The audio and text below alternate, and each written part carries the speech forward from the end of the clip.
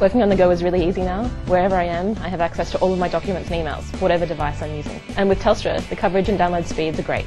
Lync is really handy. I use it from my phone. Uh, the ability to share documents and stay in touch with my team wherever I am, it's great. We are constantly called out to client sites and quite often those sites are remote.